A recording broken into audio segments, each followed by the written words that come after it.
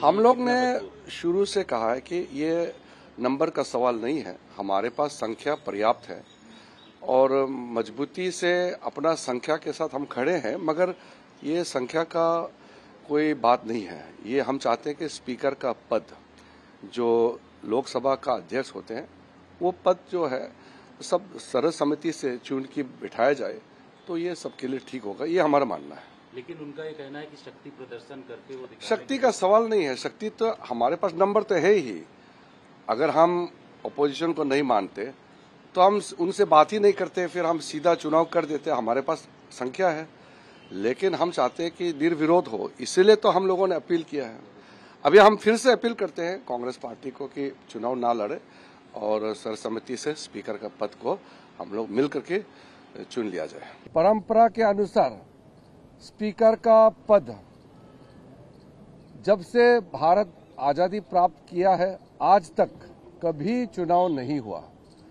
और हम चाहते हैं कि इस बार भी लोकसभा अध्यक्ष स्पीकर का पद को निर्विरोध कंसेंसस सब मिलकर के चुना जाए, ये हमारा मत है। इसलिए हमने संपर्क भी किया और अपील भी किया। आज कांग्रेस के नेता और उनके साथी, हमारे एनडीए के वरिष्ठ साथियों, पूरे एनडीए दल के बैठक में जहाँ रक्षा मंत्री भी थे, गृह मंत्री जी भी थे, और जितने हमारे एनडीए के पार्टी के जो फ्लोर लीडर्स हैं, सबके मौजूद में कांग्रेस और उनके साथी आए और फॉर्मली बात किए हैं। हमने अपील किया उस समय स्पीकर के पद को समर्थन देने के लिए। तो कांग्रेस की ओर से कहा गया कि वो समर्थन देंगे मगर पहले डिप्टी स्पीकर पद को उनको देने का घोषणा किया जाए। हम ये मानते हैं कि स्पीकर का पद और डिप्टी स्पीकर का पद दोनों का चुनाव प्रक्रिया अलग अलग होते हैं दो, दोनों का चुनाव एक साथ नहीं होते हैं। स्पीकर का चुनाव पहले होते हैं, बाद में डिप्टी स्पीकर का होते हैं। तो दोनों को एक साथ मिलाना, ये सही नहीं है। और साथ साथ में जब हम कंसेंसस की बात करते हैं तो फिर उसमें कंडीशन लगाना ठीक नहीं है।